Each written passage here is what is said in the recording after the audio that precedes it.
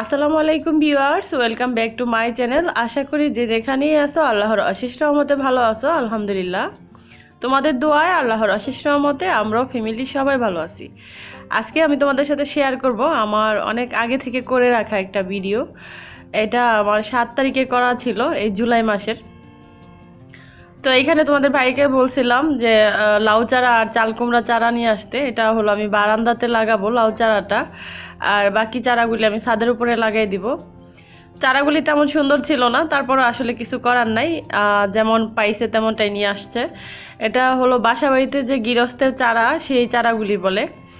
তো, আর সার নিয়ে আসছে এখানে তিন চার রকমের। এটা হলো মানে মাইটা সার, এই যে এটা। এটা হলো টিএসপি বা মাইটা সার এক একজন এক একটা বলে আর কি। তো, এটা হলো মাইটা সার। আসলে এইগুলি সম্বন্ধে আমার তেমন কোনো ধারণা নাই। এটা হলো পটাশ। একদম লবণের মতো দেখা যায় দেখতে। মনে হয় যে লবণের সাথে একটু মরিচের গুঁড়া মেশানো। আর এটা হলো সাদা সার, ইউরিয়া সারটা। তো এই বারান্দাতে গাছ লাগানোর জন্য মাটি রেডি করতে হবে আমাকে এই সারগুলা দিয়া। আর এটা হলো ডায়াথন। এটা ফুরাডন নামেরও একটা আছে। সেমটা আর কি। আলাদা আলাদা কোম্পানির থাকে, আলাদা আলাদা নাম থাকে। ফুরাডন সারটা হলো মাটিতে দেওয়া হয় যেন গাছে পোকামাকড় না হয়, মাটি মানে গাছের গোড়াতে দেওয়া হয়।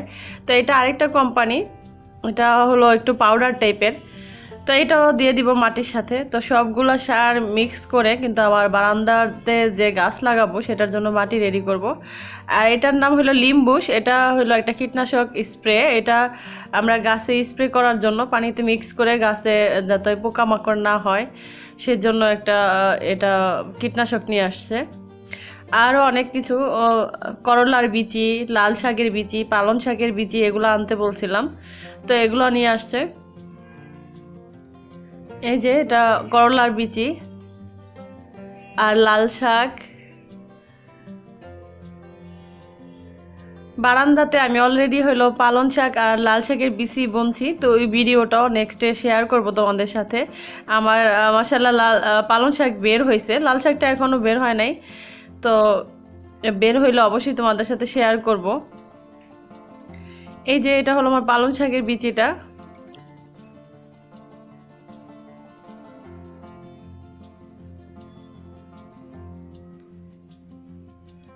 পালং শাকের বীজে আগের দিন রাত্রে ভিজায়া রাখতে হয়, তারপরে হলো পরের দিন মাটিতে ফেলতে হয় আর কি।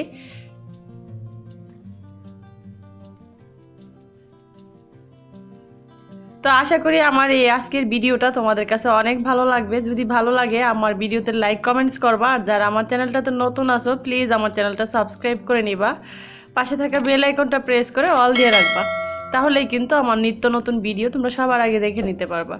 তো এখানে এই যে তোমাদের ভাইয়া হলো, মাটিটা রেডি করবে, আমি আসলাম একটু। তো আমার হাতেই বলতেছে, সারটা দিয়ে দাও। তো আমি একটু দিয়ে দিলাম। এটা হলো এই যে মাটিটা সার যেটা, সেটা। আর এই মাটি বা সার মানে সার যে, সারের যে একটা মানে কতটুকু দিতে হয়, কতটুকু মাটিতে, এরকম আইডিয়া কিন্তু আমাদের নেই, আমারও নাই, তোমাদের ভাইয়ারও তেমন নাই। আমরা হলো অনুমানের উপরে দিয়ে থাকি। তো এই বিষয়ে কেউ কমেন্টস করলে আমি মনে হয় না ওইভাবে তোমাদেরকে রিপ্লাই দিতে পারব যে কতটুকু দিতে হয়, কতটুকু মাটিতে। আমরা হলো আন্দাজের উপরে দিয়ে দিতেছি। তিন রকম, চার রকম সার মিক্স করে মাটিটা রেডি করে নিব। আর এই মাটির সাথে অলরেডি আগে থেকে গোবর, তারপরে হলো চা পাতা কোকোপিট, এগুলো মিক্স করা আছে। তো এখন এই তিন রকমের সার মিক্স করেই আমি মাটিটা রেডি করে নিব।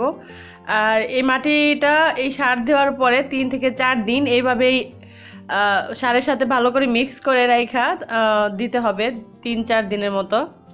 তারপরে হলো গাছ লাগানোর জন্য রেডি হবে সারটা। অথবা রোদ্রে ভালো করে শুকায়া নিলেও আরও বেশি দিন রাইখা লং টাইম রাইখাও কিন্তু নেওয়া যায়। আমরা আসলে যতটুকু জানি, এটা আমার যেহেতু একটা ব্লগ চ্যানেল আমি ব্লগ আকারেই তোমাদের সাথে শেয়ার করি। আসলে ওই রকম কোনো আইডিয়া নাই যে কতটুকু মাটিতে একদম মাপ ঝোপ করে কতটুকু সার নিতে হবে, ওই রকম আইডিয়া নাই। তারপরে যতটুকু পারি, যতটুকু জানি, ততটুকুই তোমাদের সাথে শেয়ার করা। তো এখন মাটিটা ভালো করে মিক্স করে নিবে, তারপরে হইল এটা রাইখা দিবে দুই, তিন দিনের জন্য।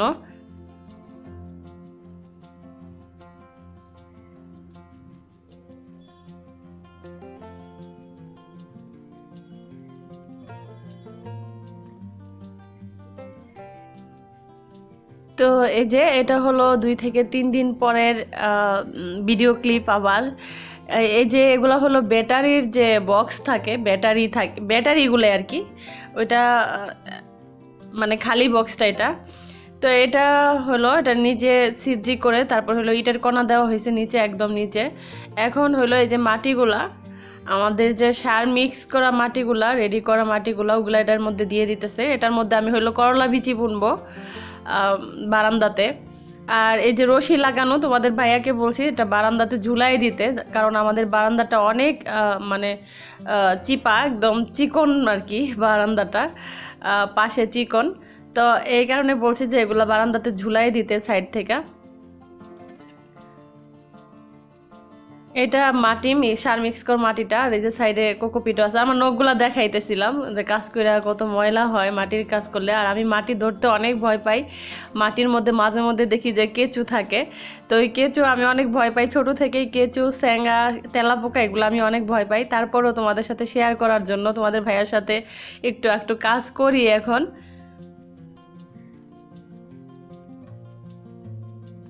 তো সবগুলোর মধ্যে মাটি দিয়ে দিতেছে তোমাদের ভাইয়া, দেখতেই পেতেছে আমি মাটি ধরতে অনেক ভয় পাই, এই কারণে ও আমাকে হেল্প করে।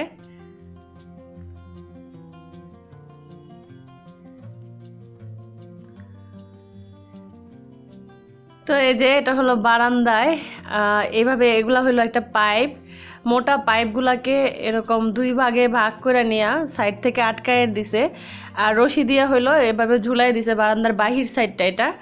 তোমরাও চাইলে এভাবে গাছ লাগাইতে পারো। তো এটার মধ্যে মাটি দিয়ে হলো আমি পালন শাকের বিচি বুনবো আর লাল শাকের বিচি।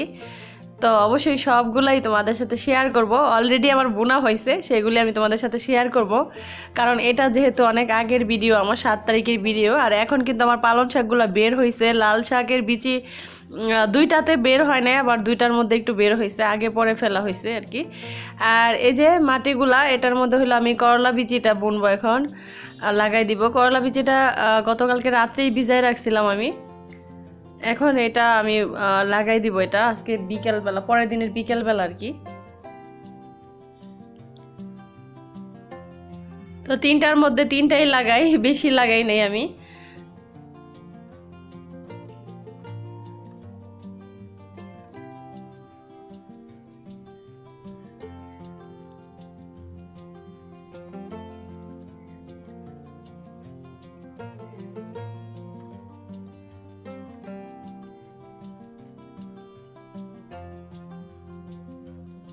আর লাউ চারাটাও লাগাই নিব। আর এই রশিগুলা দিয়া পরে হইল বাহির থেকে ঝুলাই দিব। তোমাদের ভাইয়া এখনও ঝুলাই নাই, আমার বারান্দাতেই রয়েছে আর বাকি করলার বিচিগুলো আমি ছাদের উপরে লাগাই নিব।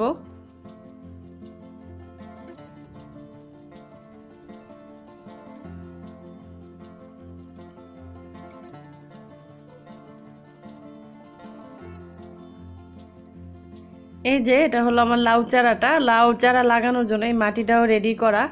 আর পাশেই দেখতে পাইতেছে হইল আমার এই হাইড্রোপনিক পদ্ধতিতে ধনিয়া পাতা লাগাইছিলাম, ওই ঝুড়িটা দেখা যাইতেছে। কিন্তু দুঃখের বিষয় এবার কেন জানি না আমার এই ধনিয়া পাতাগুলি হইল না।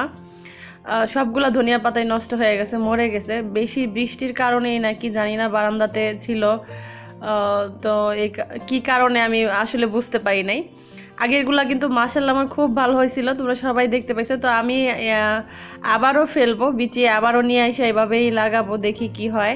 মাটিরগুলা কিন্তু খুব সুন্দর হয়েছে, মাটিতে যে ফেলছিলাম, ওগুলো অনেক সুন্দর হয়েছে ধনিয়া পাতা।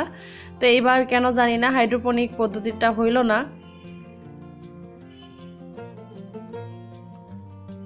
তো লাউ চারার উপরে কিন্তু একটা প্লাস্টিক থাকে ছোট, ওইটা ছিঁড়ে নিয়ে আমি এভাবে মাটিতে লাগাই দিতেছি।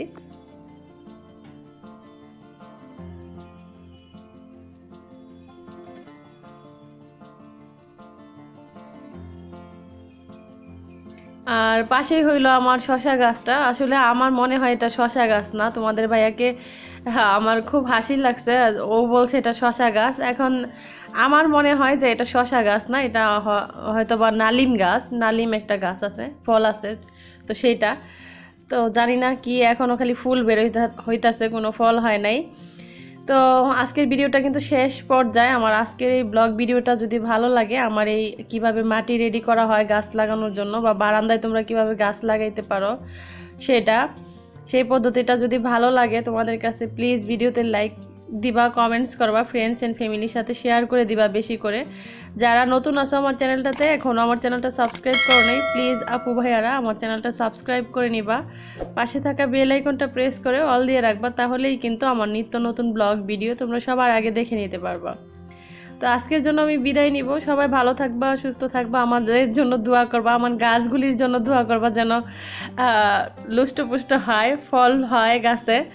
তো আজকের জন্য বিদায় নেই। সবাই ভালো থেকো, সবার জন্য অনেক দোয়া রইল। আল্লাহ হাফিজ, আসসালামু আলাইকুম। নেক্সট টাইম শেয়ার করব বারান্দাতে আমার পালং শাকগুলা কেমন হইল। উঠ- উঠছে কিন্তু পালং শাক বের হয়েছে লাল শাকগুলা। সেগুলা শেয়ার করব তোমাদের সাথে। আবার পুঁই শাক লাগাইছিলাম ছাদের উপরে, সেটা কেমন হইল সেটাও শেয়ার করব। আল্লাহ হাফেজ, আসসালামু আলাইকুম।